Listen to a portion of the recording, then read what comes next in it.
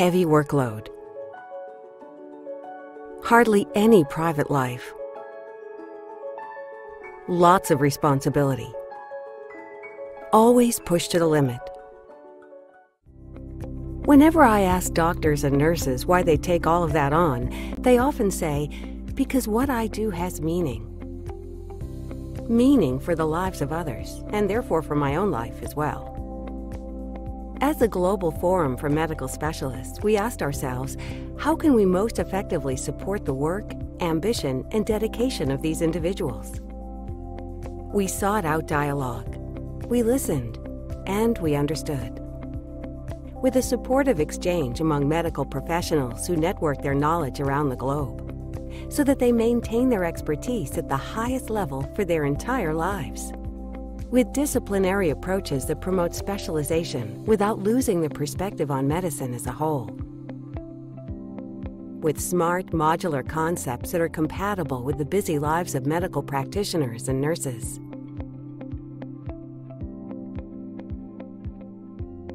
With offerings whose contents provide answers for the reality of everyday medical life with a growing perspective on trends that enables medical practitioners to already prepare for future challenges today. In close dialogue with renowned specialist companies that bear testimony to the quality of the offers. With inspiring forms of learning that don't just convey knowledge, but make it an experience for the senses. And with innovative teaching methods that prepare you not just for tests, but for life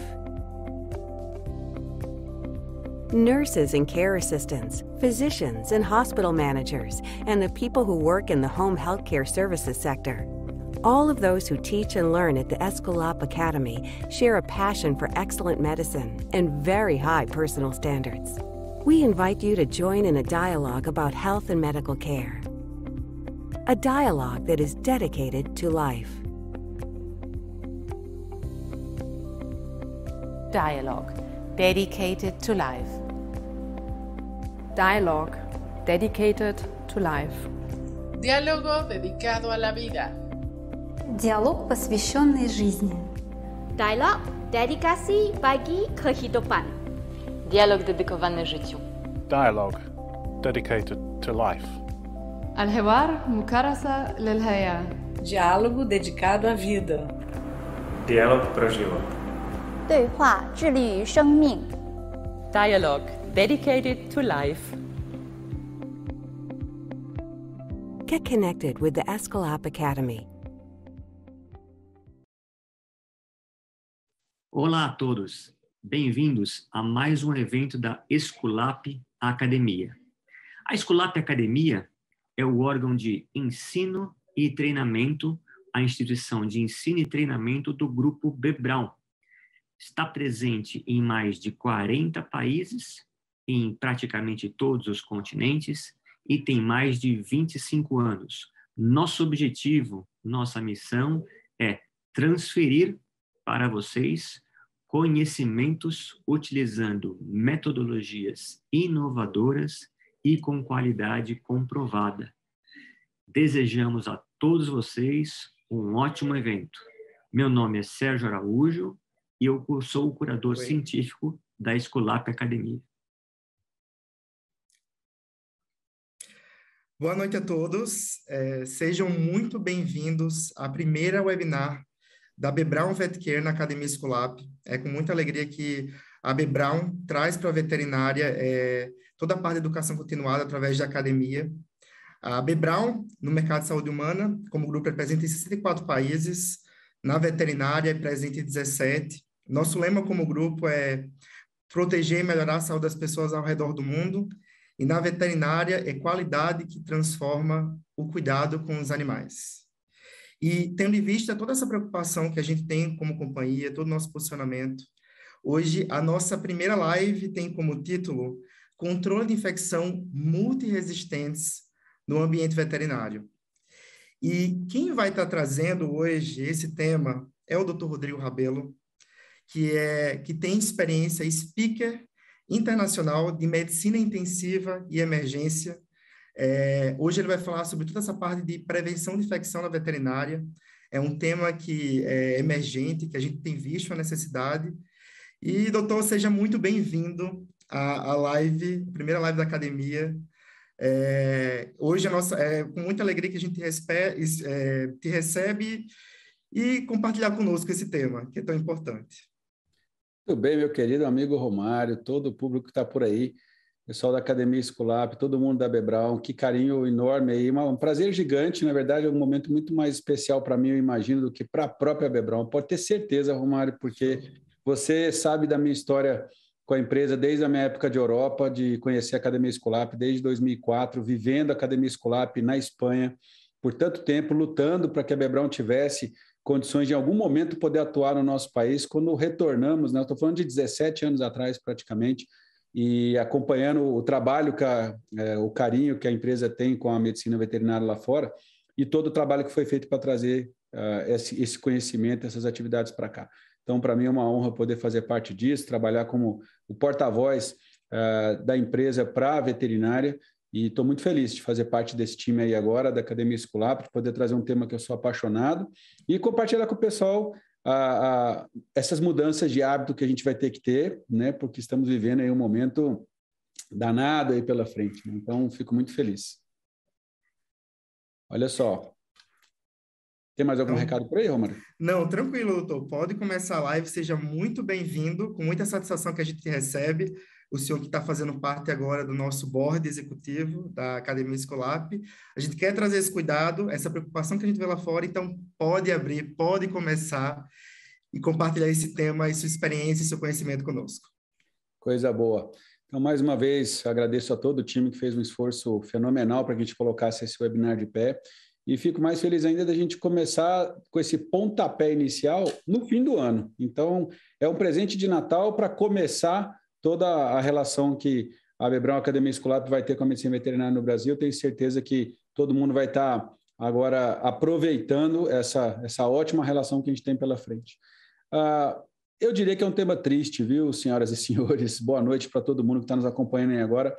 Uh, vocês sabem, para aqueles que, que nos seguem na, nas nossas atividades aí, nas redes sociais, na Academia Brasileira de Emergência e Cuidados Intensivos, a luta que a gente tem uh, com relação à utilização correta de antimicrobianos na nossa rotina e principalmente com o objetivo de controlar uh, micro-organismos multiresistentes que vêm aparecendo cada vez mais no ambiente veterinário, algo que já é discutido há longo tempo na medicina humana, e é importante trazer essas informações para cá, que você também que está nos assistindo possa divulgar uh, todo esse processo que vem acontecendo ao longo dos últimos anos.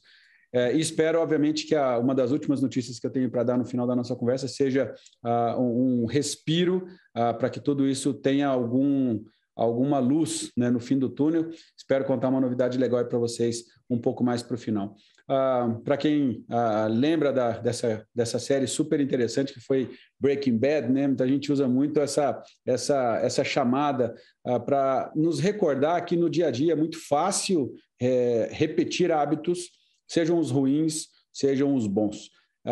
e muitos de nós sabemos que na própria graduação acabamos sendo treinados para combater infecções com antibióticos faz algum sentido, já que antibióticos foram feitos para matar bactérias.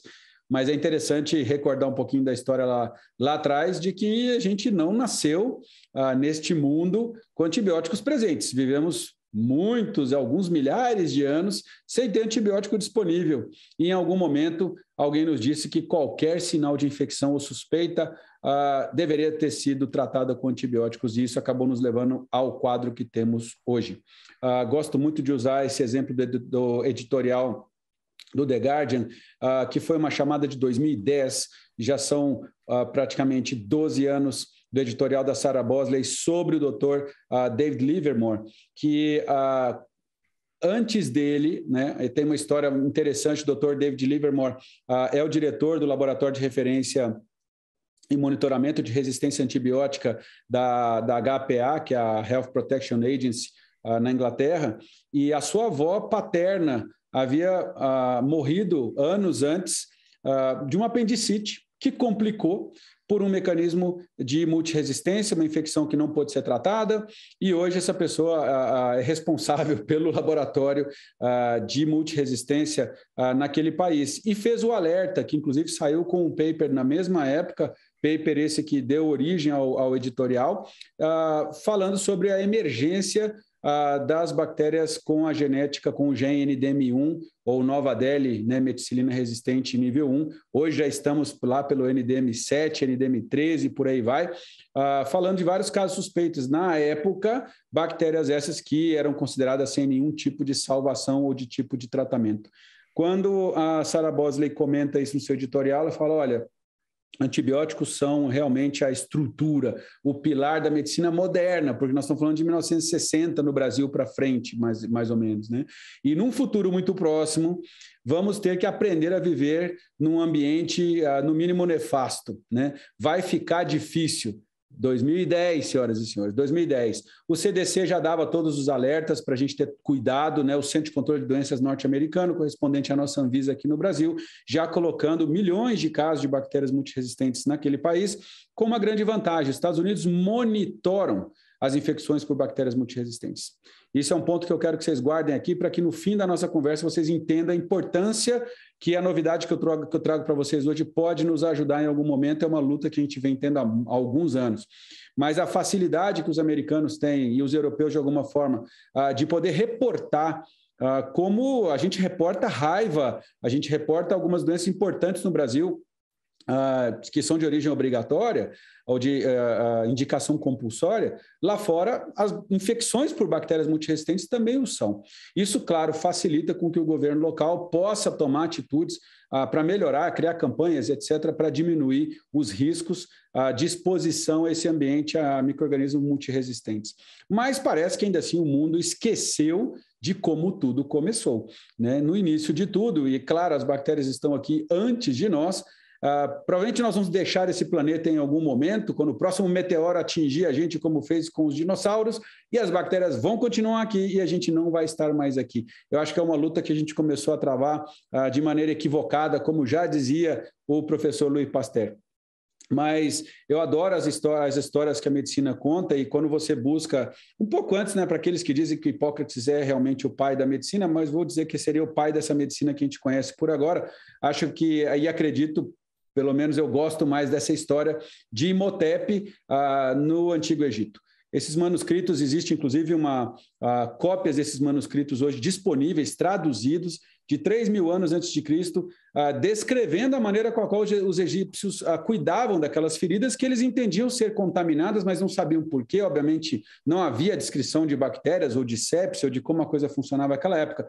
Mas, a todo instante, e eu trago esse, isso é importante para a gente conectar o começo da nossa conversa novamente ao final da nossa conversa de hoje, que a menção era curativos à base de mel, ah, graxa, fio de linho, diversos tipos de excrementos, inclusive, que resolviam o problema daquelas feridas com cheiro de podre. Aliás, podridão essa que é sinônimo, é o que significa sepse em grego, esse termo cunhado há tanto tempo atrás. Aliás, cabe recordar que sepse em grego tem dois sinônimos, né? Sepse em grego significa decomposição e significa corrupção. Olha só que legal, acho que traz muito do que a gente vive hoje, né? Sepse é algo extremamente moderno, vivemos a sepse na política, vivemos a sepse nos hospitais, vivemos a sepse hoje com a grande pandemia do Covid-19, trazendo para a gente toda a importância que houve ah, dessa melhoria do contato, ah, da higiene, da sepsia, ah, buscando, obviamente, redução da contaminação pelo uh, vírus uh, da Covid-19, mas também, obviamente, se a gente lava as mãos e cuida dessa higiene, assim como Hipócrates também recomendava que tudo fosse mantido limpo e seco, e preconizava a limpeza dessas feridas, dos tecidos, com água morna, vinho, vinagre, estamos protegendo de todo tipo de contaminação, não só contra essa nova pandemia que assolou o planeta aí nesse último ano. E quando a gente avança já, passando pelo Egito, passamos pela Grécia, vamos para Luiz Pasteur em 1870, toda enfermidade infecciosa tem na sua causa alguma coisa que eu acho que voa pelo ar. Temos que encontrar esse micróbio e determinar uma forma de combatê-lo. Isso era 1870, ele não tinha como se comunicar ah, com Fleming, porque Fleming estava 40, 50 anos à sua frente, ele tentando resolver um outro problema, mas parece que participou bastante dessa discussão toda. Então, Pasteur entendia bem esses problemas, né? considerado um dos três principais fundadores da microbiologia. Obviamente, não podemos esquecer do Dr. Ferdinand Kohn e o Robert Koch, lá em 1871. Ah, ele obrigava os médicos dos hospitais militares, porque à época, principalmente na França, os hospitais militares eram os mais avançados, os que mais produziam os melhores protocolos, porque, obviamente, cuidavam dos militares que voltavam das grandes guerras. Mas, primeira vez, Pasteur obrigava esses hospitais militares, ó, vamos ferver os instrumentais e todas as bandagens que vocês usarem nos procedimentos médicos, porque tem algum bichinho que vai e que está matando as pessoas desde a época de papai Hipócrates e Imhotep lá atrás. E essa história é muito interessante porque, à mesma época, na Inglaterra, alguém que tem um nome super conhecido, o Dr. Lister, em 1865, é um cirurgião, aplicando os conhecimentos de Pasteur, queria eliminar os micro-organismos que eram supostamente responsáveis pelas feridas e os problemas de infecção pós-operatória. Acabou criando esse aspersor de ácido fenólico, que aliás está em exposição ah, no museu em Glasgow até hoje, para quem gosta de história da medicina, e esse aspersor jogava ácido fenólico no ambiente cirúrgico, enquanto os colegas ali ah, faziam, realizavam as suas cirurgias primeira grande descrição do cuidado médico em um paper de uma revista que até hoje é um dos grandes sonhos de consumo de muitos médicos poder publicar no Lancet, e o Lancet estava ali em 1870 publicando um artigo do Dr. Lister sobre princípios da sepsia na prática cirúrgica. Recomendo a leitura desse paper porque é história pura e parece que foi escrito para nós para o ano de 2020. Na sua sequência, Uh, e ele tem uma sequência de três ou quatro grandes papers que merece a sua leitura. Ele traz a, a, a essa lição e eu peço para vocês se colocarem de olhos fechados em 1897. Nessa época, aliás, Dr. Lister foi o primeiro médico a entrar para a Câmara dos Lordes na Inglaterra. Então, o cara era demais e era cirurgião. E olha só o resumão do paper. Limpem as salas de cirurgia, desinfetem o pessoal e o contato com o paciente, esterilizem o instrumental. Foi escrito em 1800 e lá vai pedrada. Vocês estão de brincadeira comigo que nós estamos em 2021 discutindo a mesma coisa aqui agora. Em nenhum momento vocês escutaram eu falar em antibiótico. Agora, mais legal do que isso é que Lister não deixou de ter uma homenagem, né? Dr. Joseph Lawrence, ele criou o Listerine, que todo mundo conhece aí o Listerine, que é para antisepsia bucal, né? Já mudou sua fórmula várias vezes, mas o Lawrence batizou o Listerine de Listerine em homenagem ao Dr. Joseph Lister. E esse antisséptico, né, que tinha uh, eucaliptol, tinha mentol, salicilato de, de metila, timol, é uma composição meio da Coca-Cola, assim, 1879, tem um segredo comercial por ali, ali por trás, e ele esperava justamente promover o uso do Listerine como um germicida geral de uso cirúrgico né? E acabou virando o que virou até hoje. Nós estamos falando de 1879 e o Listerine está aí no mercado até hoje. Tem uma história muito legal porque ah, ele, foi, ele fundou depois a, a, Lambert Company e depois ah, o Listerine foi vendido para outras companhias que vocês conhecem até hoje. Então ele é o primeiro antisséptico ah, bucal vendido nos Estados Unidos lá em 1914. Então tudo isso eu adoro uma história, adoro contar história porque tinha muita coisa antes desse senhor sair de férias. Todo mundo só lembra de resistência antimicrobiana ou resistência microbiana falando do Dr. Fleming descobrindo a penicilina. Mas desde o Imhotep, 3 mil anos antes de Cristo, está todo mundo querendo resolver esse problema. E não era com antibiótico. Quando o Fleming descobriu a penicilina em 28, e eu digo que ele precisava de férias, essa foto é clássica, ele não estava feliz, a sua pia estava uma bagunça, olha a cara de bravo que o, o Fleming estava. Ele falou: Eu vou embora, Dona Maria, limpa essa pia, quando eu voltar eu quero tudo limpinho. Mas ele não, não gostava de férias, o negócio do Fleming era trabalhar, e ele voltou mais cedo, pegou a Dona Maria no flagra, ela largou a pia toda suja. Quando ele estava descendo aquela bronca na Dona Maria, ele olhou para a placa e falou: O que, que é isso? Tem uma das minhas culturas de estafilococcus que não está crescendo. Tem um bolor aqui em cima, está matando o meu estáfilo. Penicilina está descoberta. Ele lá com o seu colega, o Dr. Price, acabaram descobrindo o fungo do gênero Penicillium. A gente sabe o que acontece depois disso, o fungo produzia essa substância responsável pelo efeito bactericida, que ficou conhecido como penicilina, e aí quem purificou isso foi o Florey e o Chen, lá por volta de 1940. Então é interessante que o Flemme acabou descobrindo isso na sua plaquinha, mas quem conseguiu sintetizar a, a molécula e transformar isso no antibiótico que a gente conhece até hoje foi o, o, o, o, o Florest perdão, Flore e o Chen, né? que na verdade depois compartilharam o Nobel com o Fleming. Então, o primeiro homem a ser tratado com penicilina foi um policial lá em Nova York que tinha ah, tido um monte de abscesso depois que sofreu um disparo por arma de fogo. E olha só que coisa ruim. Não mandar a carga toda de penicilina que ele precisava, ele começou a tomar um antibiótico e ficou super de boa, acabou o tratamento antes da hora, não tinha mais penicilina para ele e ele acabou morrendo de sepse. Lá em 45, alguns anos depois, Fleming, Flore e Chen recebem o Nobel de penicilina.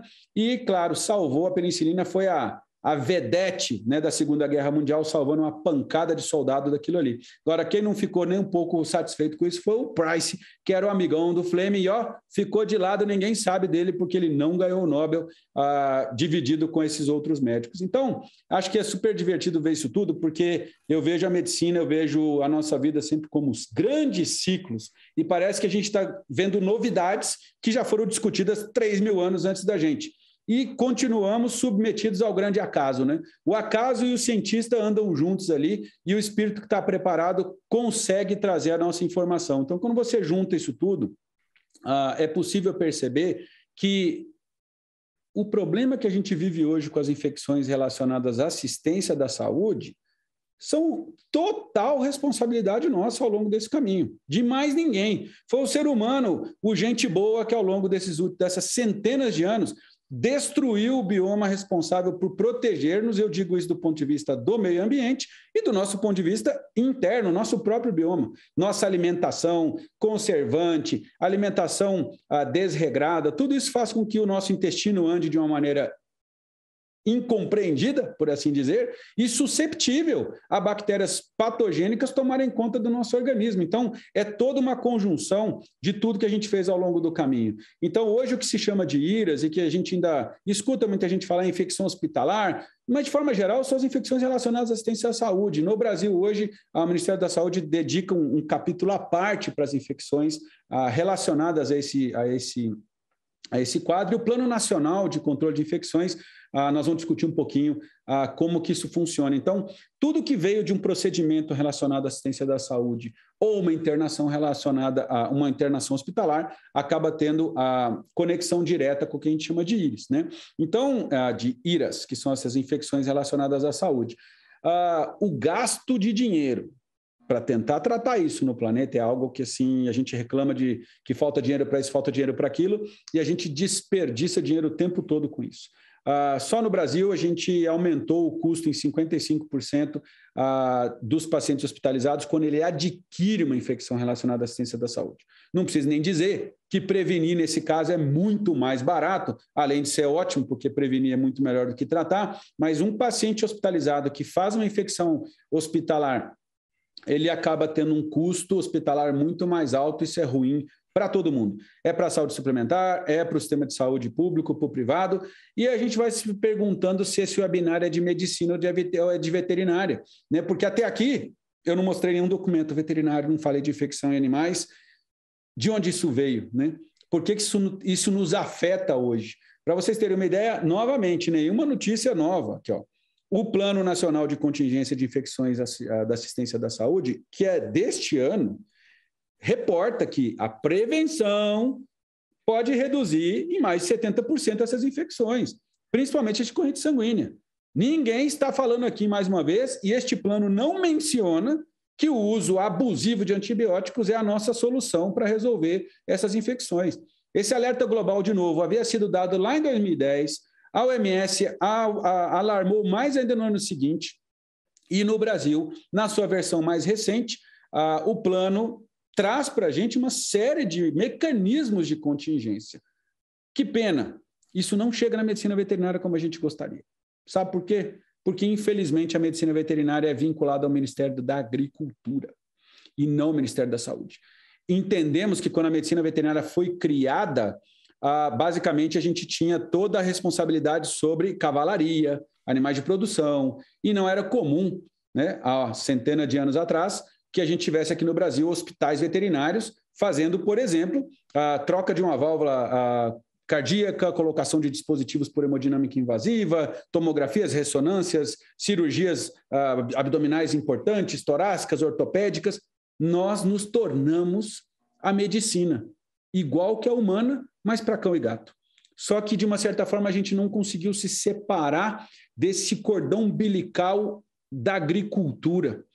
Isso fez com que o Ministério da Agricultura tivesse um desafio gigante pela frente nos últimos 50, 60 anos, que foi tratar a medicina veterinária de hospital de uma maneira individualizada. Isso acabou não acontecendo. O uso ficou indiscriminado, não houve nenhum controle, porque as regras para hospitais humanos não eram aplicadas à medicina veterinária. Essa é uma das lutas que a gente ainda tem até hoje para que as regras sejam muito bem cumpridas e a gente possa utilizar de toda a tecnologia que a medicina humana utiliza, ok, mas também com responsabilidade. Então, esses planos estão bem descritos. Depois, para quem quiser, eu vou deixar meu e-mail no final. Tenho contato também pela Academia Esculap. Vem atrás da gente, a gente manda os materiais para vocês poderem seguir o estudo. Tem muita coisa legal do Ministério da Saúde. E quando a gente fala dos critérios para definir é, o que, que essa infecção significa, é importante que tem todo o processo ali, um algoritmo para a gente seguir, um fluxograma que define esses critérios, cria o processo que busca a precocidade da identificação dessa infecção para a gente tratar o mais rápido possível. Agora, eu não posso trabalhar de uma maneira reativa para sempre, somente identificando a infecção com precocidade e tratando. Identifica e trata. Eu preciso classificar o perfil das instituições algo que a gente vem lutando também há alguns anos nos nossos processos de consultoria hospitalar e hoje com os nossos clientes que atuam conosco dentro do programa de telemedicina do Intensivete. Então, eu preciso entender aonde é que eu estou trabalhando. Só para dar um exemplo rápido para vocês, a gente realiza mapeamentos de superfície ah, em hospitais clientes nossos com alguma frequência e o susto é gigante. Quando a gente vai para a área principalmente de clínica médica, né, onde a dermatologia atua de maneira muito forte no nosso dia a dia. É esperado que os gram-positivos sejam um problema nesse local. Se eu der um exemplo para vocês aqui, para aqueles que já conhecem como a situação anda, impressionante a gente encontrar de 19 tipos de gram-positivos, um apenas que não tivesse algum tipo de gene de multiresistência. São 18 ah, que apresentam um grau de contaminação importantíssimo um grau de resistência microbiana altíssimo, que não respondem à terapia antibiótica básica do dia a dia. Quando a gente vai para a internação hospitalar e para o bloco cirúrgico, aí vem os gram-negativos, e de outra forma, a gente acaba encontrando o mesmo tipo de padrão.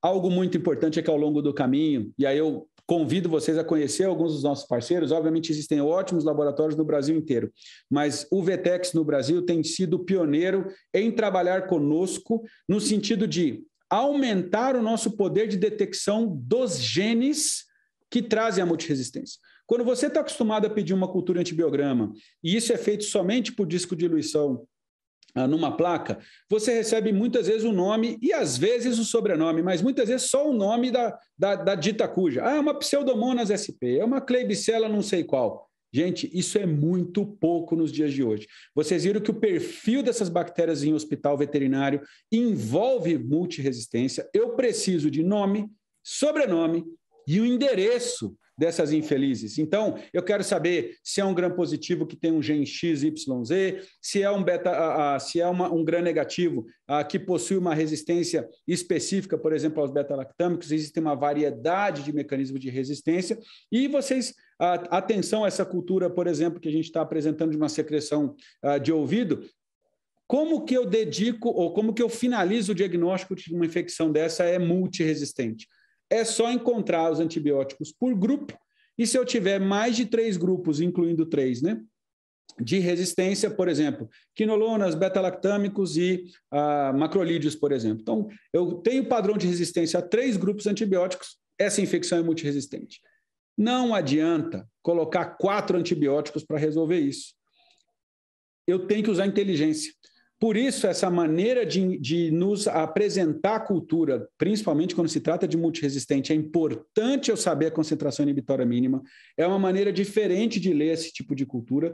E o laboratório nos oferece por faixas aonde estaria a melhor opção para a gente trabalhar. Então, além disso, o suporte que o laboratório nos oferece para nos guiar a escolher a melhor opção é difícil de encontrar em outra empresa. Eu gosto das empresas que trabalham ciência, por isso nós estamos aqui hoje a Brown, porque a gente gosta de associar a quem realmente busca melhorar a nossa qualidade de trabalho. E aí não tem conflito nenhum de oferecer para vocês os melhores parceiros que a gente pode ter para trabalhar. Então não perca essa oportunidade de entender como que eu fecho esses diagnósticos de maneira correta. Agora, nós viemos aqui hoje para também entender como é que a gente resolve esse problema. E só se resolve infecção por multi, bactéria multiresistente quando eu iniciar um programa de segurança e qualidade de assistência médica. Isso não tem como não passar por Dona Bedian e qualidade médica lá atrás. Né? Quando ele fala dos pilares de estrutura, de processos e de desfecho. Não muda nada. A gente entupiu os hospitais de antibiótico, estrutura, sem processo nenhum e sem nenhum tipo de monitoramento. Zero desfecho. Os antibióticos, antibióticos, antibiótico. Ninguém faz cultura antibiograma antes de escolher o antibiótico. Ninguém passa por um programa judicioso para saber qual antibiótico correto que eu vou utilizar. Torto é direito liberado. É pelo Ministério da Agricultura mesmo. Ninguém está na minha clínica vigiando é, a emergência de bactéria multiresistente. Eu não devo satisfação para o Ministério da Saúde. Ninguém passa lá pedindo relatório de mortes por infecção multiresistente. Então, a vida é muito simples. Até o momento, a vida foi muito simples para quem tem clínica hospital veterinário. E a gente esquece de que tudo passou por falta de processos de segurança e qualidade, que é basicamente a nossa paranoia, né? o nosso. Uh, é o que a gente busca todo dia. Quando se fala em Safe Surgery Save Lives, ou processo de cirurgia segura da OMS, nós estamos falando de um processo que buscou reduzir mortalidade em cirurgia letiva. Outro dia eu estava discutindo isso, a gente estava isso num evento da BHV, da Associação Brasileira de Hospitais Veterinários, sobre indicadores. E você pega alguns programas de castração voluntária, de castração de, de, de prefeituras, de associações que se dizem né, em prol do bem-estar animal e colocam 200 animais num ginásio municipal para fazer castração múltipla. Né? Não, não, mas é que somente 1% dos animais morrem. Gente, eu não posso usar o um indicador de mortalidade para um evento eletivo.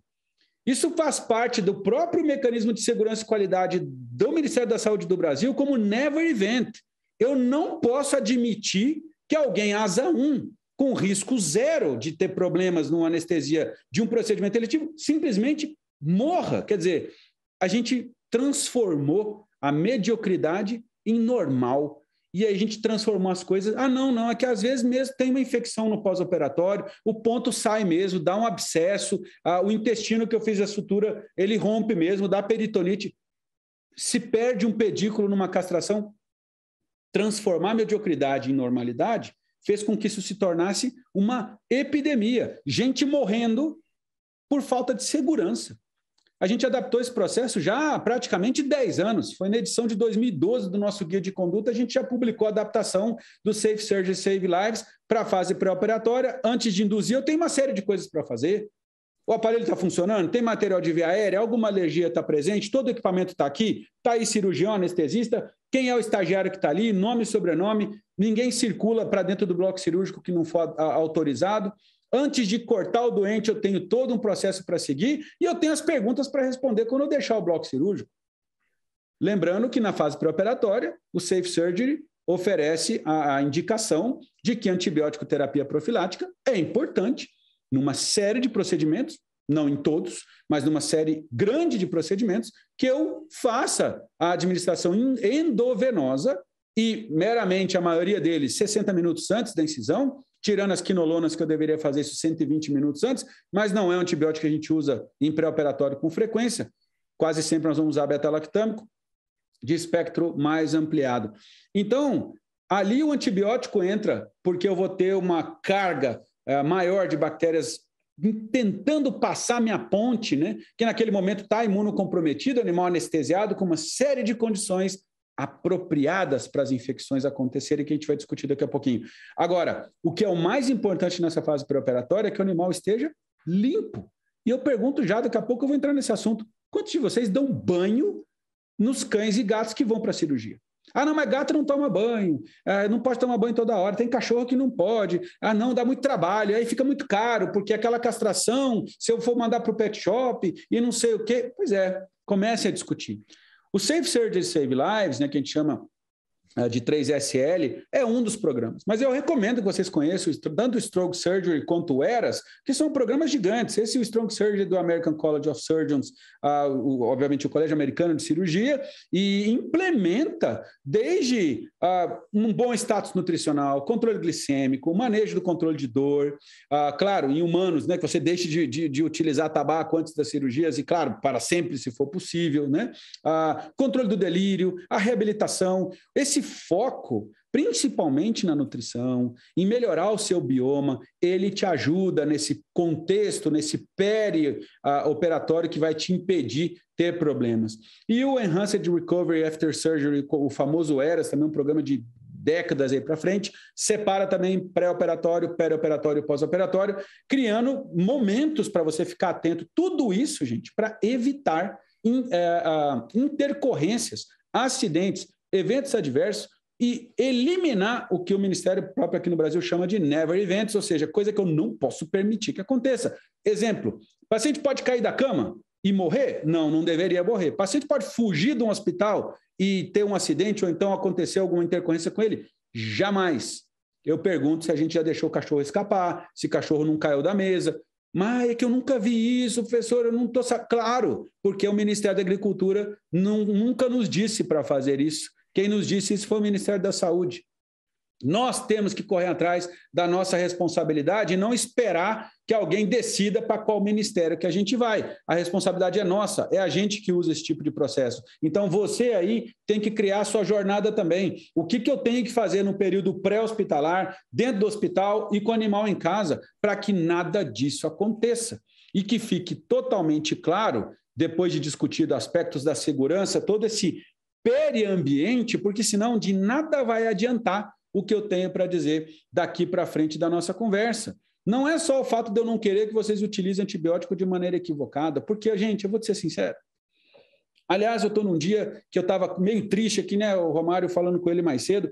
20 minutos aqui, meia hora antes de entrar para o webinar, estourou um cano do meu banheiro. Eu tinha tudo para ter um dia triste demais. Aí eu pensei, podia ser pior. As pessoas estão usando antibiótico tão errado por aí. É tanto problema que um cano estourado está até bonito. Né? Se fosse só esse o problema, não tinha. Uh, eu poderia seguir meu dia de forma muito tranquila. Aliás, uh, quem faz cirurgia de intestino resolve o problema de um cano. Né? Então, rapidamente resolvemos o problema do vazamento, mas não resolvemos esse problema aqui, de comportamento. Né? Uma entrevista, assim, é bom sentar em casa com um bom vinho, ler com calma, não ficar com raiva, porque quando a gente lê um paper desse me dá desespero. 2018, 16 cirurgiões ingleses, escoceses, irlandeses falando sobre o uso de antibióticos. Hoje é um dia para a gente poder trazer literatura para vocês, vocês anotarem as referências, printarem as telas, pedirem depois, anotarem lá no nosso Instagram que estão precisando daquele paper ali, que depois a gente vai passar para vocês. Mas eu vou selecionar a frase que mais me deixou é, chateado quando eu li esse paper. Né? Quando um dos cirurgiões respondeu assim: Eu conheço alguns colegas, essa é a famosa história de eu tenho um amigo, né? nunca aconteceu comigo, é sempre um amigo, mas eu conheço alguns indivíduos que vão happily. Happily é com a maior cara de pau do mundo e felizes da vida buscar uma quinolona antes de encostar no animal. Né? Então, assim, é o hábito. É, vai castrar sete dias de antibiótico. Vai fazer uma fratura fechada, é antibiótico. Vai operar, vai retirar um nódulo, sete dias de antibiótico. Não dá. Não é só no Brasil. O mundo está vivendo isso e não só nós. Dentro da medicina humana, a gente viu no início da nossa conversa que a situação é caótica, mas parece que a gente mora em Nárnia. E os veterinários têm que sair de Nárnia e vir para o mundo real, porque vocês estão levando isso para dentro de casa. E eu posso provar isso para vocês. A gente tem feito alguns mapeamentos muito interessantes E claro, não tá, isso não está publicado, são dados anedóticos, extremamente confidenciais, mas eu tenho seguido as casas de alguns veterinários. Tenho seguido geladeiras, canecas de café, pias de cozinha, de colegas que trabalham em hospitais onde esse controle não é bem feito. Sabe o que eu estou encontrando? Klebsiella pneumoniae multiresistente dentro das residências, não dentro dos hospitais mais. Pseudomonas multiresistentes no ralo da sua pia, da sua cozinha, aonde a sua colaboradora faz o seu almoço. E você acha que está protegido na sua casa. Não está. Então, é bom vocês começarem a se mexer, porque agora eu perdi a esperança de que a gente vai conseguir ganhar essa batalha, pelo menos com antibiótico. Eu, aliás, eu perdi mesmo, pelo tanto que a gente vem estudando, as pessoas que a gente vem escutando e os últimos 25 anos de veterinária que eu vivi. Então eu já não estou nessa. Agora eu posso dizer para vocês, na minha casa não, porque na minha pia da minha casa e no ralo ali do meu banheiro não tem bactéria multiresistente. Sabe por quê? Porque tem mais de 10 anos que eu controlo esse tipo de coisa. Eu chego na minha casa, eu tiro a minha roupa, eu troco de roupa, eu separo a roupa suja, eu não misturo, eu não fico convivendo com os meus filhos depois de voltar de um atendimento num hospital que eu considero, obviamente, uh, contaminado. Será que você tem esse hábito? A gente precisaria de chegar nesse ponto para pedir para vocês tomarem cuidado com jaleco no almoço, indo para o shopping com roupa do hospital. Depois, Claro que eu não deveria falar isso aqui, eu não estou falando em nome da empresa, mas depois eu mato alguém na rua porque eu vejo alguém com jaleco comendo no, no, no buffet de self-service e me perguntam por que, que o senhor está tão bravo, professor? Porque eu não aguento mais ver gente esfregando jaleco de hospital no buffet que eu estou pegando a minha comida. E as pessoas perderam a noção, elas estão morando em outro planeta, quando na verdade a própria OMS já deixou as recomendações muito claras de como é que a gente tem que evitar esse tipo de coisa. Não é com tonelada de antibiótico, não é carregando roupa suja pelas suas residências. Aliás, recomendo vocês entrarem em contato com o Vetex para fazer. Eles têm planos de mapeamento residencial e hospitalar super interessantes. Você pega os suaves, faz toda a cultura da sua casa, 20, 30 amostras, a gente guia esse processo todo, e aí você vai saber que tipo de bicho vive na sua casa hoje. Enquanto isso, o que, que eu recomendo? Mude a estratégia. Acaba com os bad habits, como a gente está discutindo hoje, e muda de vida porque senão a coisa vai ficar muito complicada. E as recomendações da OMS, novamente, nunca estiveram associadas a aumentar a carga de antibiótico. Nunca. Basicamente, é, esteve relacionada sempre à prevenção, à sepsia, não deixar acontecer.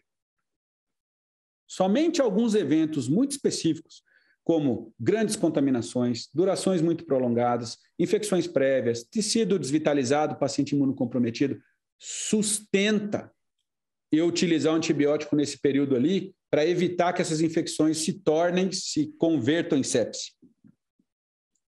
O resto é cuidado técnico básico.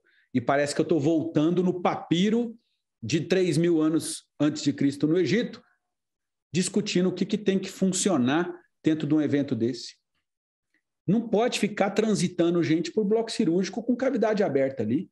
Entrou três pessoas, tem que sair três pessoas. Essa história de entra, sai, entra, sai, entra, sai. Quanto custa reduzir isso no seu hospital de dinheiro, gente? Você pode fazer isso amanhã.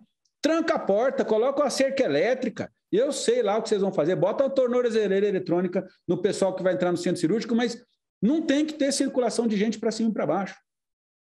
Cuidado com o frasco ampola. A gente cansa de cultivar bactéria multiresistente dentro de frasco de propofol. Canso. É um dos meus locais preferidos no meu mapeamento uh, hospitalar. Sempre vou lá e puxo uma amostra de Propofol e mando para o Vetex fazer a minha cultura e sempre volta com alguma coisa. Quer saber mais? Omeprazol, é, outros frascos de outros medicamentos que a gente usa com frequência, canso de pegar essas amostras, mandar para o laboratório e vem com bactérias multiresistentes. Claro, faça antibiótico profilaxia correta, mas é 60 minutos antes da incisão, de forma endovenosa, com antibiótico correto. Ah, qual antibiótico você usa, professor? Depende. Eu não sei que bicho você tem na sua clínica. Na, no Intensivete aqui em Brasília, a gente sabe. Então, a gente sabe qual antibiótico a gente usa para profilaxia ah, de cirurgias eletivas. Ok? Primeiro mapeia, depois decide o protocolo antibiótico. Até a tricotomia pode melhorar. Vamos discutir um pouquinho como isso vai funcionar.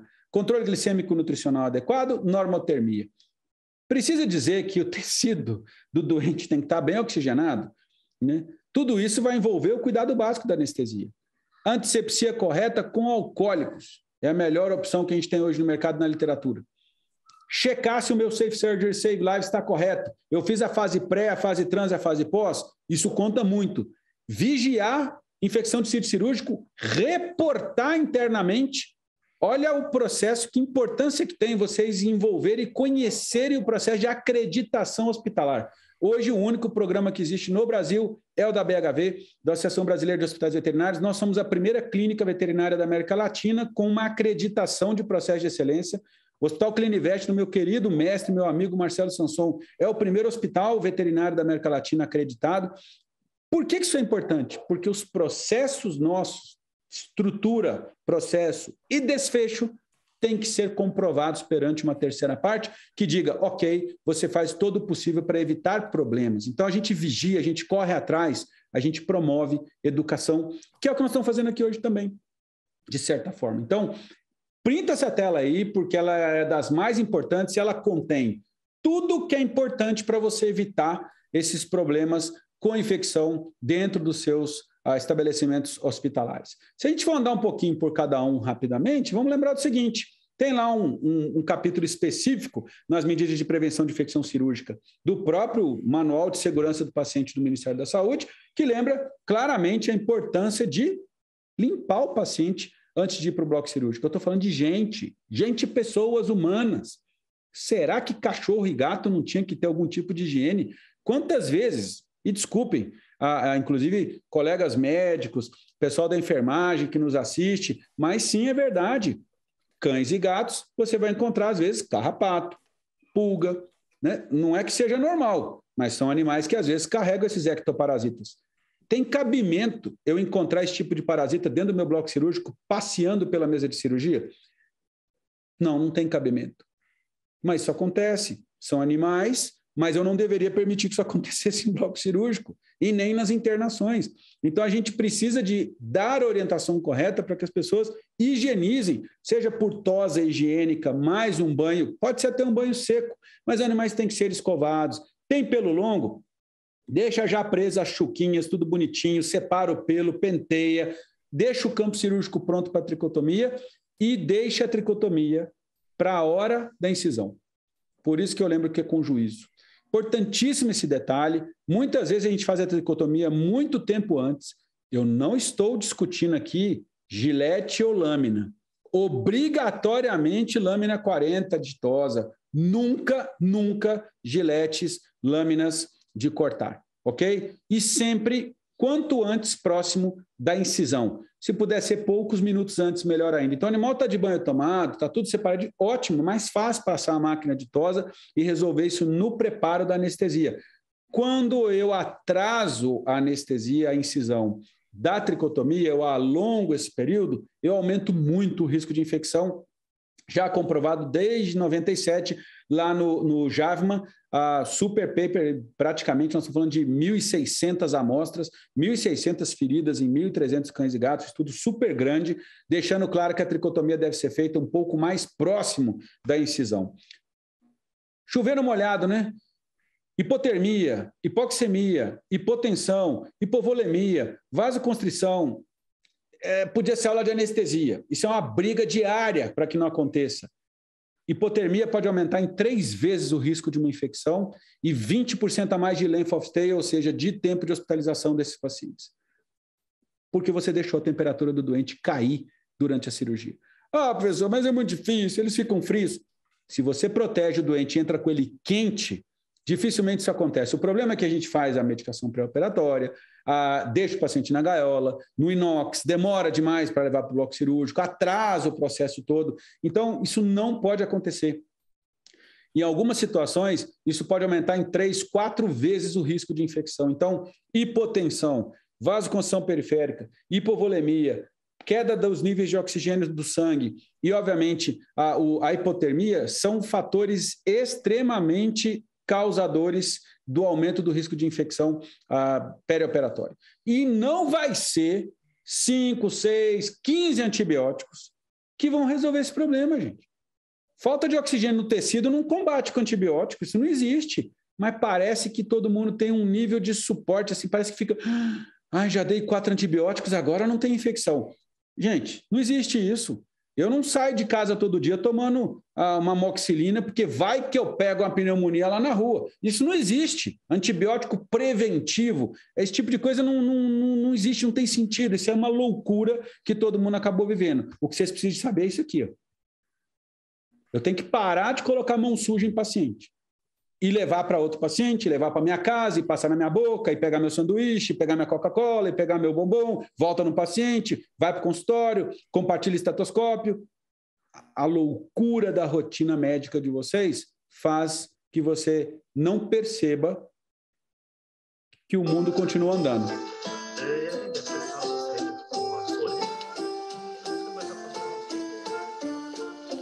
E não adianta ser só empático, simpático, se você for sujo. Tem que ser empático com o paciente, mas tem que ser limpinho também.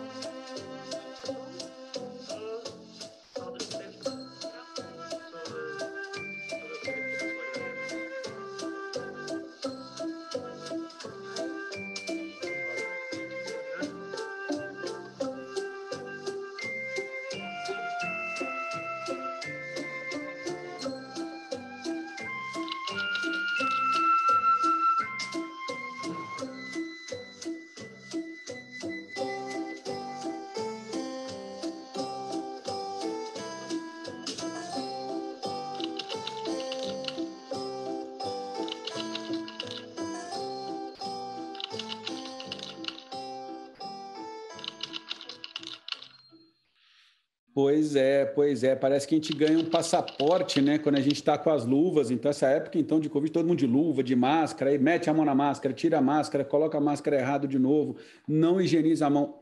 A paranoia de vocês tem que ser com a higiene.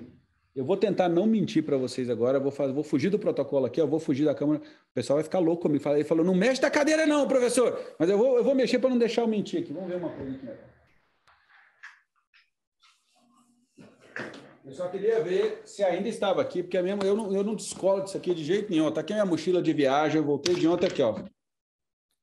Não sai daqui, não sai. Na minha casa é o que a gente usa. Eu podia descer daqui e mostrar uma foto da dispensa da minha casa para vocês, porque na dispensa da minha casa eu tenho isso aqui. Então, ah, mas você trabalha para Bebral?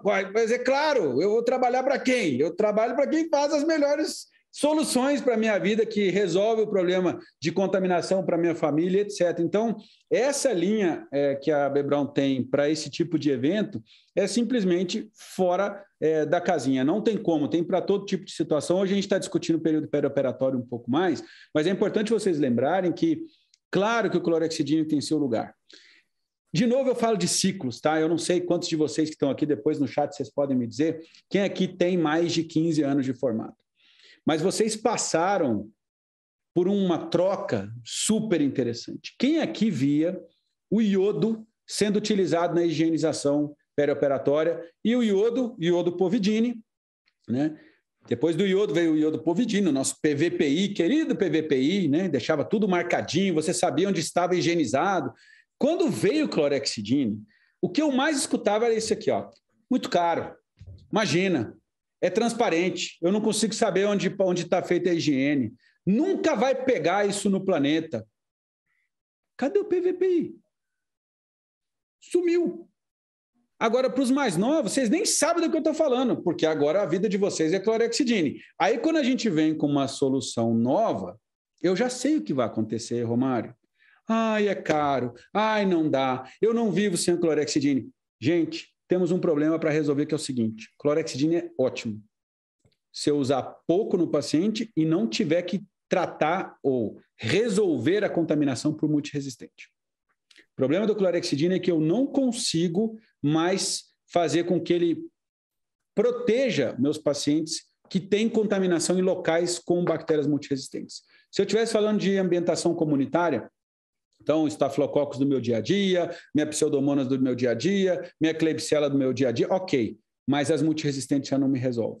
Fora que a gente ainda tem mais reações alérgicas do que com os álcoois que a gente está trabalhando hoje, esses álcoois de última geração, e que, na verdade, ainda vêm compostos. Nós estamos falando de uma, uma, uma mescla de etanol, N-propanol, isopropil miristato e uma série de outras coisas que eu não vou poder pronunciar, porque são nomes extremamente difíceis, mas que a composição desses álcoois faz com que a gente consiga ter uma concentração extremamente ótima do antisséptico no local de proteção que eu preciso, irritando bem menos a pele, a, a, e provocando menos reações desses animais. A, outras coisas, por exemplo, o iodo a gente sabe que queimava, irritava, dava uma série de problemas. Então, dentro disso, eu recomendo que vocês, obviamente, puxem a literatura para depois pegar o catálogo do pessoal e dar uma olhada no que, que tem de, de solução boa. Hoje, o que eu tenho para deixar para vocês é a minha experiência com toda a parte que envolve a higienização do perioperatório. Porque aqui a metodologia de higienização não muda somente a questão da proteção das infecções multiresistentes. Nós estamos falando em redução de consumo de água, redução de lavanderia e redução de uso de compressa para secagem de mão. Então, assim, é óbvio que se eu for pegar o ml, ml um para um com clorexidine e não discutir a redução de desperdício do ambiente perioperatório, a conta pode não fechar. Mas se eu pegar o custo das infecções por multiresistente, a conta já fechou. E se eu somar ainda a redução de desperdício do volume de água, de novo, lavanderia e compressas, a coisa muda. Outra coisa é o tempo, né? Parece que faz pouca diferença. E aqui vai um detalhe que eu acho super interessante.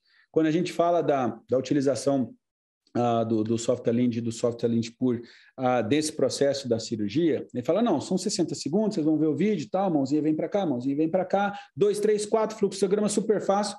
Ah, não, mas eu gasto menos tempo com clorexidine. Não deveria, né? Porque eu deveria escovar minha mão 3, 4, 5 minutos com clorexidine. Agora, se você é porcão e usa clorexidine errado 40 segundos, claro que você vai sentir que ao, traba ao trabalhar com álcool, você vai falar, não, mas é porque eu estou gastando mais tempo. Não dá para comparar errado com certo. Nós estamos aqui para resolver isso hoje, ok? Dá só uma olhadinha como que o sistema é super legal.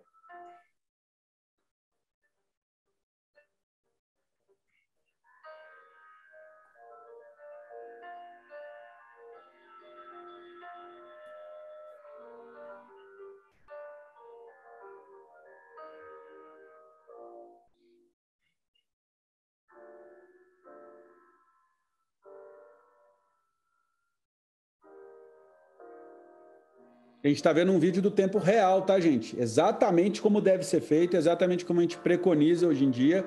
Claro que eu não posso chegar lá com as mãos totalmente cheias de matéria orgânica suja, eu tenho que ter uma lavagem prévia. Minha mão está seca, meus braços estão secos, estão higienizados.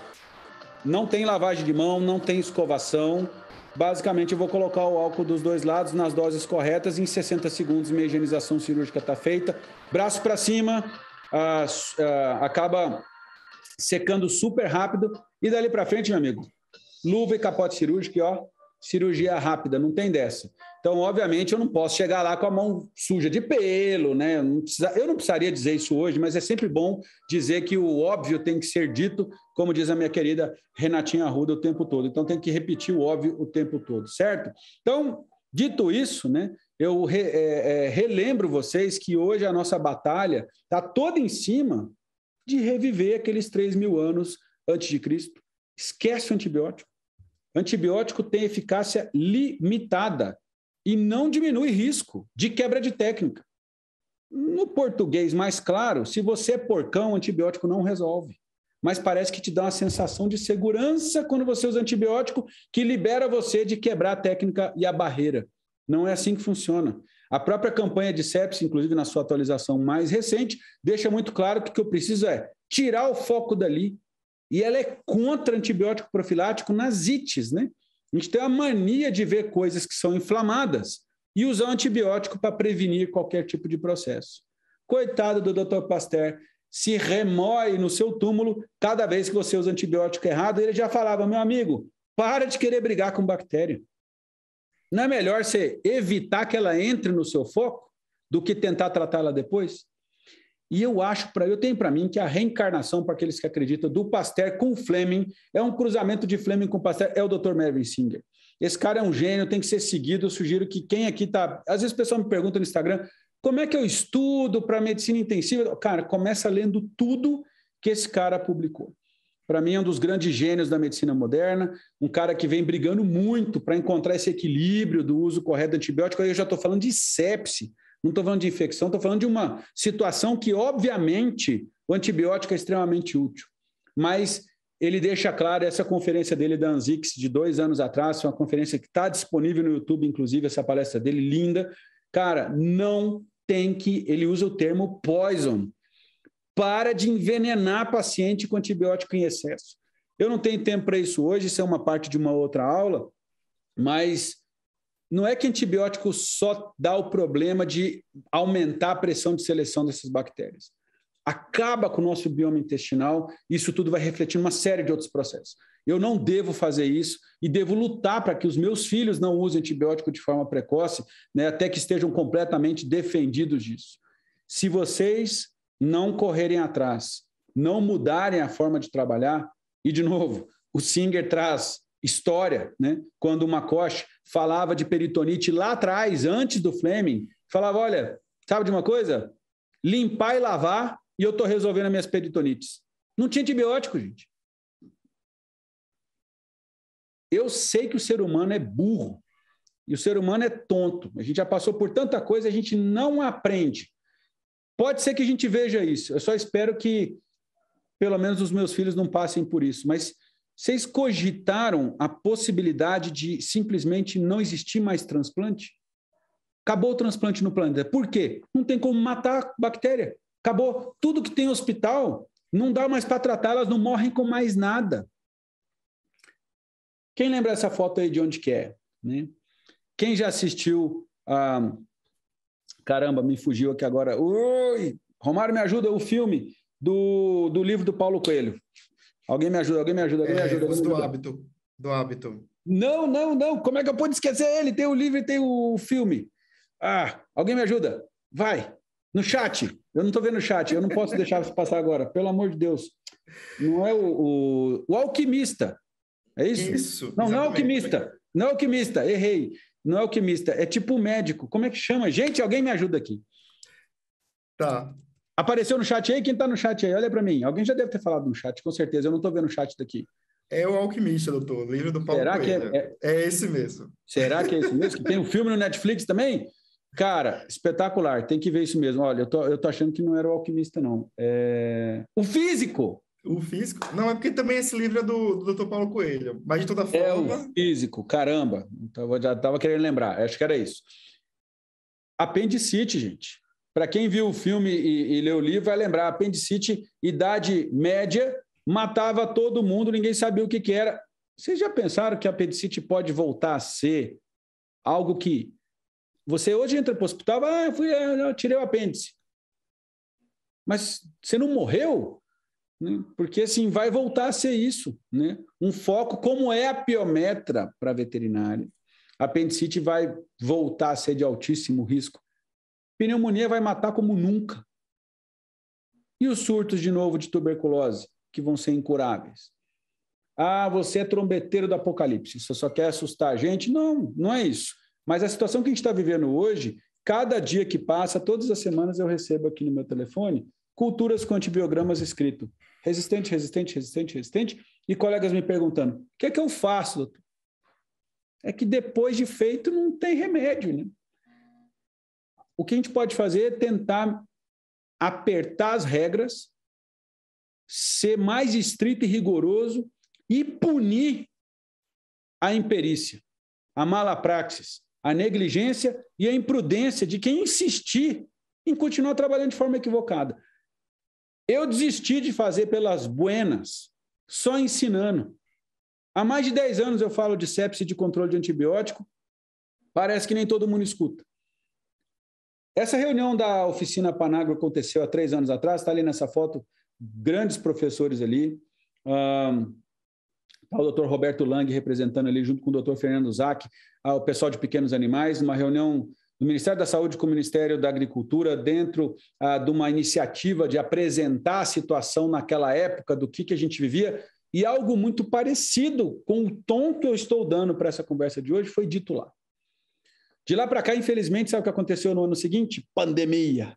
Então, isso acabou sendo dissolto, de alguma forma, atrapalhou muito o andamento dessa comissão. Mas apareceu há 15 dias atrás uh, um edital da OPAS com a OMS, junto do Ministério da Agricultura. Uh, mais uma vez, meu agradecimento, meu querido amigo Fernando Zac, lá no Conselho Federal, me, me mandou o WhatsApp, falou, cara, tem esse edital aqui, eles estão, a OPAS está organizando junto com o MAPA a, a promoção do guia de uso racional de antimicrobiano para cães e gatos e também para grandes animais, etc. Cara, entra nesse edital. Eu falei, Fernando, não vai dar, cara, é muito em cima, é muita coisa para fazer. Não, pelo amor de Deus, você está brigando com isso, você tem que entrar. E eu fiquei muito feliz, porque naquele dia eu recebi o WhatsApp de muita gente. Muita gente falando: olha aqui, você viu o edital, entra no edital. Eu falei, pelo amor de Deus, eu vou arrumar mais confusão para mim. Entrei no edital e, graças a, a, todo esse apoio do pessoal todo, nós fomos aprovados nesse edital, recebemos a, a honra de agora ser aprovado pela OPAS e pela OMS para escrever o Guia de Uso Racional de Antimicrobiano para Cães e Gatos no Brasil.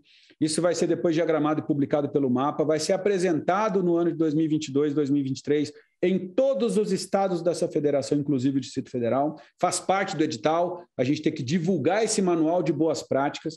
E, basicamente, vai ser o grande resumo do que a gente discutiu aqui hoje, mas espero que isso ah, force as autoridades a começar a olhar mais. E essa, esse olhar da saúde única que a própria OMS, junto da FAO e a OPAS, tem tido junto ao Ministério da Agricultura, de repente é a nossa luz do fim do túnel político no nosso país, para que as pessoas agora consigam ter um pouco mais de, de cuidado, porque a gente sabe, o cinto de segurança só veio porque a multa veio com ele, porque senão a gente estava andando sem cinto até hoje. E os jovens sabem que é impraticável andar sem cinto de segurança e muita gente hoje anda com cinto porque sabe que é perigoso andar no carro sem cinto de segurança. Não porque vai ser multado, mas para aqueles que são um pouco mais antigos aqui lembram disso, que foi uma dificuldade mudar o hábito do brasileiro para o cinto de segurança. Agora, sabe o que está matando as pessoas, meus amigos? Essa porcaria aqui, ó. Isso aqui é o que mata as pessoas. Eu dirijo hoje vejo as pessoas ali distraídas, com o carro passeando para cima e para baixo. É assim que eu vejo as pessoas usando antibiótico hoje em dia, de maneira irresponsável. O único jeito que tem é mexendo no bolso, é tirando licença, é brigando, é tirando licença de hospital e clínica que está fazendo errado, que está compartilhando esse tipo de microorganismo multiresistente com outros colegas. Porque uma coisinha aconteceu ali naquele paper que eu falei para vocês. E essa frase resume bem isso tudo. No futuro, pode ser que eles não deixem que a gente use antibiótico. Eles o pessoal da saúde. Que o governo, os governos locais bloqueiem o veterinário de encostar em antimicrobiano pelo risco que a gente pode causar do excesso de uso. Agora, não se esqueçam, existe uma parte importantíssima na saúde humana que está nos afetando. A balança pesa para os dois lados. Não somos nós que usamos antibiótico demais em veterinário e estamos levando essas bactérias para a medicina humana, não. Nós temos vários clientes da saúde animais que nunca tomaram antibiótico na sua vida e convivem nessas casas, quando vêm para o mapeamento nas nossas clínicas, trazem bactérias multiresistentes que nunca haviam sido encontradas ali. Então, tem que ser um conjunto, um esforço único de todo mundo, porque, olha só, esse é o slide da humildade para a gente encerrando. Neste planeta, pisam no nosso solo 70 gigatoneladas de bactéria. Os humanos representam 0,06 gigatoneladas. Nós estamos querendo brigar com bactéria com antibiótico. Vocês estão de brincadeira?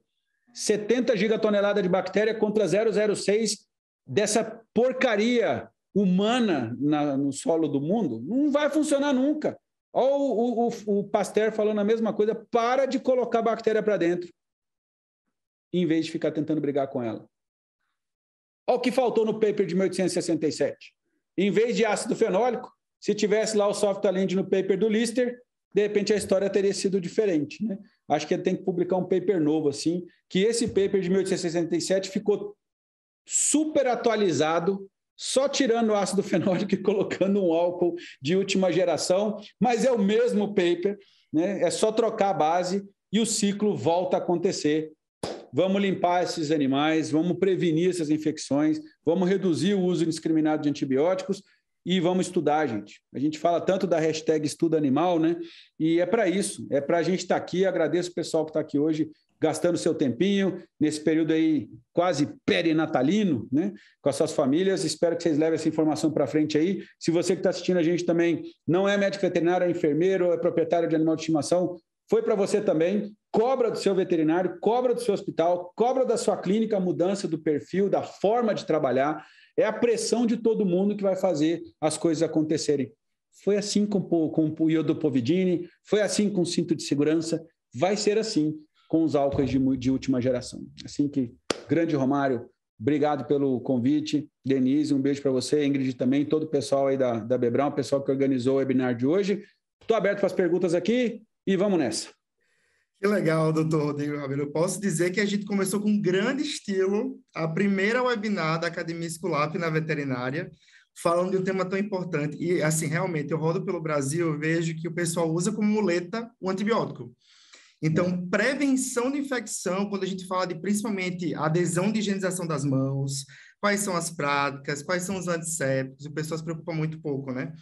E antes de eu partir para as perguntas, eu queria só é, mencionar duas notícias que, que me chamam muita atenção, que é uma da BBC, que eu li recentemente, que é superbactérias potencialmente fatais que podem ser transmitidas de cachorros para os seus donos. E estima-se 700 mil mortes a cada ano por resistência a antibióticos e 10 milhões até 2050. Né? E outro artigo científico fala de 7 a 48% de prevalência de colonização microbiana em cateteres venosos centrais e periféricos. Ou seja, quando você faz a tricotomia, se você não fazer de maneira correta, consequentemente isso vai impactar para a infecção, principalmente infecção do sítio cirúrgico. Lembra do vídeo, né? Se a gente não enxerga bactéria, se eu não cultivar, não mapear, não correr atrás, não dá para enxergar. Exatamente. Doutor, partindo para as perguntas, é, eu, a primeira pergunta que eu vi aqui, pessoal, é, nós estamos abertos para pergunta nesse momento. Caso você não queira fazer, a gente vai disponibilizar uma plataforma, seja por e-mail, grupo no WhatsApp, para poder atender as dúvidas de vocês. Mas a primeira pergunta que eu gostaria de disponibilizar aqui, da webinar, foi feita pelo Bruno Félix, e ele falou: Boa noite, professor. Sabe como estão as pesquisas de supressão genética por CRISPR? Li um artigo de Irã e achei muito promissor, mas não achei outras pesquisas sobre. É, isso ainda vai dar muito prêmio Nobel para muita gente. É, graças a Deus, a gente tem ainda uma parcela importante da, da comunidade científica que está buscando opções que não sejam novos antibióticos.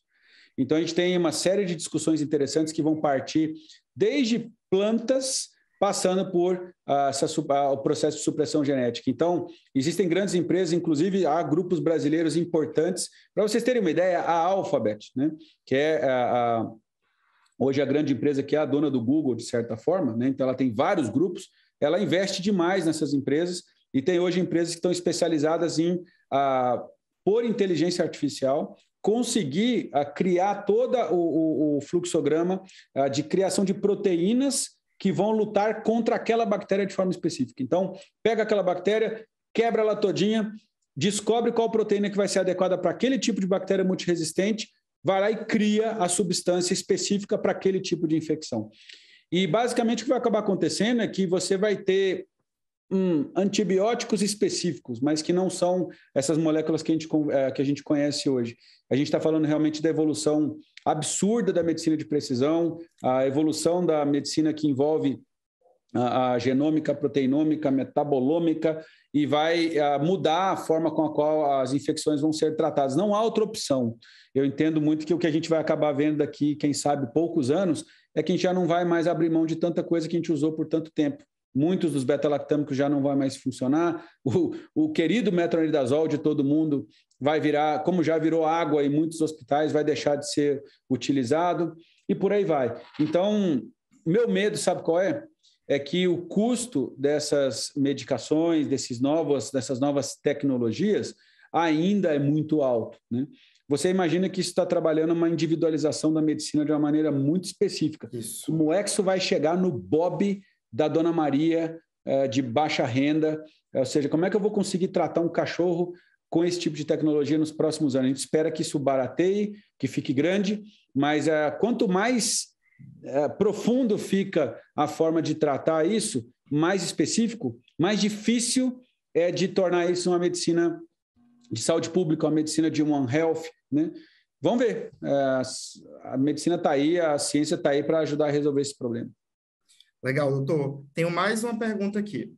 É, do Ricardo, ele falou o seguinte: No meu doutorado encontrei KPC, NDM, MS, VRE e a MPC no hospital veterinário. O que falta para os veterinários é que se conscientizem que a resistência bacteriana é uma realidade na veterinária. Não falta na, na veterinária uma mudança na grade curricular? Pois vários vets não conhecem e nem é, esses termos também. O que, que você acha Ricardo, dessa, Ricardo, dessa inquietação? Não me provoca, Ricardo, não me provoca. Senão a gente vai estar aqui. Se o meu querido amigo João Abel Buch estivesse escutando a nossa conversa de hoje, o doutor Roberto Lang, todo mundo lá da BHV, a gente entrar na mesma discussão. Né? Nós temos um problema gigante. Ah, quando eu entrei para a faculdade, eu disputava com mais oito pessoas uma vaga na escola de veterinária. E hoje, na verdade, a gente tem as oito vagas por pessoa. Né? É o contrário. O que está acontecendo? Não é que a gente perdeu a qualidade do ensino somente, é que agora a gente não tem mais a, aquelas mentes sendo selecionadas para entrar num curso de saúde. Estou ah, falando de veterinário, estou falando de medicina, estou falando de enfermagem, estou falando de fisioterapia, estou falando de todas as grades da saúde. É, não é só o currículo que vai resolver. Ah, a medicina veterinária, a gente passa por essa discussão. Tivemos essa discussão agora no summit de da BHV de Curitiba, o Romário estava lá, Isso. onde inclusive ficou claro que o papel de alguns conselhos regionais, meramente o Conselho Regional do Paraná, na pessoa do Dr. Rodrigo Mira e toda a sua, sua, equipe, é espetacular nesse sentido e apoia essa iniciativa. Eu brinco sempre com a premissa que é a seguinte: o pessoal da saúde às vezes desconhece um pouco de como funciona dentro da veterinária, mas o meu CRMV ele me permite inspecionar um pedaço de lombo para ver se ele é bom para consumo humano e entregar ele lá no supermercado e à tarde operar, um, operar uma infecção de útero numa cadela. É o mesmo documento. Né? Eu sou veterinário, então eu sou responsável pela inspeção de alimentos de origem animal, eu sou responsável por cuidar de granja de suíno, aves, é, leite, é, e sou responsável por cirurgia e por UTI, ventilação mecânica, cultura antibiograma. Como é que um treinamento de graduação vai permitir que alguém saia com alguma experiência, alguma coisa? Então, o conceito de generalidade ele já passou do limite no nosso currículo de graduação. Passou do limite. Você tem que decidir por isso antes de se formar. Você vai trabalhar com pequenos animais? Ok, então poupa vira aqui para a direita e o seu currículo agora vai terminar dessa forma. Só que agora o senhor está proibido de inspecionar o alimento, a não ser que o senhor volte à grade curricular e preencha isso aqui novamente. É o mínimo. Agora, nós estamos falando de é, Ministério de Educação, de lei, de Congresso Nacional, etc, etc. Bom, como a gente já esperou tanto tempo, agora qual é a luta? É a que eu mostrei para vocês nos penúltimos slides. Então a gente está batalhando politicamente, com apoio de Conselho Federal, apoio de conselhos regionais, e agora buscando via BHV apoio institucional, parlamentar, para que a gente consiga fazer com que as leis mudem. Né? Não é à toa que a gente está aqui discutindo. Por exemplo, eu não, eu não posso hoje fazer uma teleconsulta porque é proibido, não tem regulamentação. Agora, a telemedicina continua sem regulamentação e é, e é uma tecnologia que salva vidas. E então, seja marco regulatório de internet, a revalidação de títulos, currículos corretos, tudo isso, Ricardo, a gente vem brigando muito, junto com o apoio da BHV, o apoio da Academia Brasileira de Emergência e Cuidados Intensivos. Institucionalmente, a gente não para, a gente está tentando ao máximo agora trilhar um caminho que não é só o da ciência, né? porque infelizmente só o caminho técnico não levou a gente a lugar nenhum nesses últimos 20 anos. Então, agora é aproveitar essas oportunidades a, a, a, o apoio das grandes empresas, da indústria, que interessa demais para todo mundo que isso ande, né? que as pessoas estejam melhor treinadas. Mas não espere que a graduação resolva isso. Eu também perdi a esperança na graduação da medicina veterinária. Entendo que vocês precisam de um, um programa pós-graduação que não seja essas pós-graduações também que a gente acaba vendo por aí de fim de semana e que não resolve absolutamente nada. O ensino da veterinária tem dar uma, uma, uma virada assim absurda para que as coisas mudem. Hum, nós estamos começando, a gente está brigando por aqui. Muito legal, doutor. E aqui eu trago meu reconhecimento para a BHV, que está fazendo um trabalho pioneiro e de transformação na medicina veterinária no Brasil, né? Então, passando por vários estados, promovendo eventos, é, eu tenho visto, e a, a, maneira de fazer gestão nas clínicas veterinárias também, né? principalmente os afiliados. Eu também. Doutor, mais uma pergunta, é, e aqui é da Ellen. Ela falou, professor, qual sua consideração sobre os cuidados com unhas e esmaltes nas nossas veterinárias? Ah, que pergunta boa. Achei interessante essa pergunta. É, é, qual o sobrenome da Ellen? Tem o sobrenome dela aí? Ellen Mieda. Mieda, ah, muito bem. Ellen, um beijo para você aí. Ah, o cuidado tem que ser o mesmo para todo mundo que lida com, com secreções, ah, com álcoois, com produtos de limpeza. É, a proteção do dia a dia, eu entendo que a gente não, a gente consegue ter um balanço entre a higiene e a estética, a beleza, a vaidade é importante, mas dentro de hospital, a unha mais cortada possível, e o esmalte não é um problema, do meu ponto de vista, contanto que a unha esteja bem cuidada, né? E eu entendo que isso faz uma diferença danada. Você trabalha em UTI, você está trabalhando dentro da internação ou você está fazendo clínica médica, né? Você faz uma especialidade, por exemplo, como oftalmologia, ou reabilitação, ou alguma coisa que não envolva um cuidado mais invasivo de consultório do dia a dia, isso também muda um pouquinho. Agora, dia a dia de internação é pesado, né? Muita punção venosa, contato com secreção, às vezes encosta em alguma coisa. Então, a higiene embaixo das unhas sempre adequada, unhas bem cortadas. De novo, mão lavada o tempo todo, né? E eu, eu, eu sou muito a favor de que haja esse balanço, de que hoje, inclusive, essa, a saúde mental vem muito da, de você conseguir ter sua vaidade bem assessorada, né? Que você consiga viver bem, que mulher não gosta, né, de estar num salão e poder ter esse seu momento ali de unha, de pé, de cabelo. É importantíssimo que isso aconteça e que bom que é ter veterinárias que estejam bem cuidadas nas, nas internações, mas, por outro lado, tem que tomar bastante mais cuidado quanto mais acessória. E agora, sou contra, por exemplo, unha postiça. Acho que não faz muito sentido nesse ambiente. É uma prótese, acaba acumulando secreção, é mais arriscado, é mais difícil de cuidar. Olha eu aí dando consultoria de manicure. Quem imaginaria que isso acontecesse? Muito bom, doutor, muito bom. É, doutor, uma, só para finalizar esse momento de perguntas, é, teve uma pessoa que ela compartilhou aqui conosco, é, a Marilice é, Aparecida. Ela compartilhou oh, a Organização é. Mundial da Saúde Animal. Se eu queria comentar alguma coisa sobre essa entidade? Ah, ela tem que especificar para mim se ela está falando da FAO, que é o braço da OMS. É a OIE, é a OIE. A OIE, exato. Ah, dentro desse processo, a gente vem percebendo, na, na Covid-19, a gente conseguiu ver o papel da OIE um pouco mais claro, né?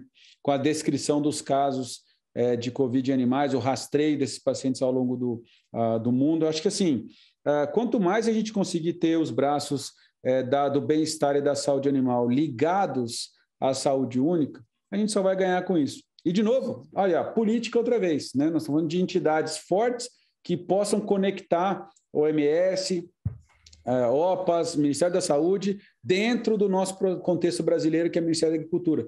A OIE e a própria FAO poderiam fazer isso de uma maneira bastante mais clara. Sou totalmente a favor. É, mas não sei se era só um comentário ou se era uma pergunta específica. Não, era só, ela só fez um comentário mesmo. Ela só falou importantíssimo, sobre a OIE. Importantíssimo. Então, é... acessem os sites, né? O site da OIE, coloque no Google, dá uma buscada, entra ah, ah, nesses movimentos, porque vocês vão ter bastante informação interessante ali. Muito legal, doutor.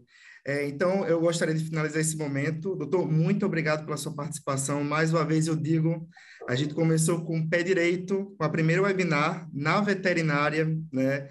E com o senhor como nosso parceiro e nosso membro do Conselho Científico também da Academia Escolap. É um detalhe que eu queria compartilhar com a nossa audiência, que a Bebrão é a primeira do mundo, que tem, a Academia Escolap, que tem um braço veterinário. Então, mais uma vez, o Brasil sendo pioneiro na educação continuada para a veterinária com grandes parceiros. E se você está participando da live nesse momento, caso tenha alguma dúvida, a gente vai disponibilizar o e-mail, vocês podem mandar, o doutor Rodrigo Abelo se coloca à disposição para poder é, tirar a sua dúvida eventualmente. No mais, senhores, muito obrigado por participar da nossa live, do nosso webinar. O ano que vem, 2022, a gente pretende trazer muito mais conteúdo para a veterinária, É, caso você não conheça a Bebrown, tem o nosso site, Bebrown Vet Care. Lá temos o nosso catálogo de produtos. Você vai conhecer não só a nossa linha de prevenção de infecção, mas outras terapias também, porque o nosso objetivo é qualidade que transforma o cuidado com os animais. Então, nesse momento, a gente encerra aqui a nossa live e até a próxima.